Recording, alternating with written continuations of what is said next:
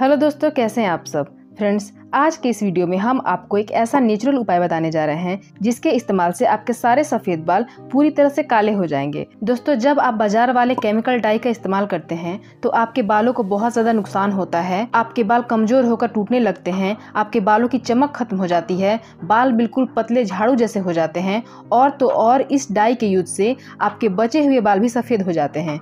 तो ऐसे में हम आपको एक ऐसा नेचुरल उपाय बताने जा रहे हैं, जिसके यूज़ से आपके सफ़ेद बाल हमेशा के लिए तो काले होंगे ही। इसके अलावा आपके बाल मज़बूत, मुलायम, घने, लंबे और चमकदार हो जाएँगे। तो आइए बात करते हैं कि आपको करना क्या है। सबसे पहले आप लेंगे एक लोहे की कढ़ाई, जिसमें आपको लेना है अपने बालों की लंबाई के हिसाब से मेहंदी पाउडर, फिर इसमें ऐड कीजिए आंवला पाउडर। आंवला पाउडर आप मेहंदी पाउडर का आधा लेंगे, फिर इसमें मिला लीजिए एक चम्मच रीठा पाउडर, एक चम्मच सिकाकाई पाउडर, एक चम्मच मेथी पाउडर। आप इन सबको अच्छी तरह से मिला लीजिए, फिर आप एक पैन में एक गिलास पानी लेंगे, फिर इसमें ऐड कीजिए दो चम्मच चाय पत्ती दो चम्मच कॉफ़ी पाउडर। आप इसे गैस पर तब तक उबालिए जब तक कि पानी आधा ग्लास ना हो जाए।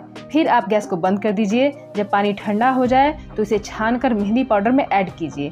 आप इन सबको अच्छी तरह से मिलाकर एक गाढ़ा सा पेस्ट बना लीजिए। पानी अगर कम पड़ जाए तो आप दही ऐड कर सकते हैं या नॉर्मल वाटर भी ले सकते हैं। आप इस पेस्ट को रात भर इसी लोहे की कढ़ाई में छोड़ दीजिए। सुबह इसे अपने बालों में अच्छी तरह से लगा लीजिए। दो से तीन घंटे के बाद आप अपने बालों को वॉश करें। शैम्पू नहीं करना है। आप शैम्पू दो दिन बाद करेंगे। दोस्तों, इस उपाय को करने से आपके सफ़ेद बाल पूरी तरह से काले हो जाएँगे और आपके बालों का झड़ना बंद हो जाएगा। आपके बाल सॉफ्ट सिल्की और शाइनी हो जाएँगे। तो दोस्तों, ऐसे ही हेल्पफुल वीडियोस के लिए आप हमारे यूट्यूब चैनल श्वेता आयुर्वेदा को सब्सक्राइब कीजिए।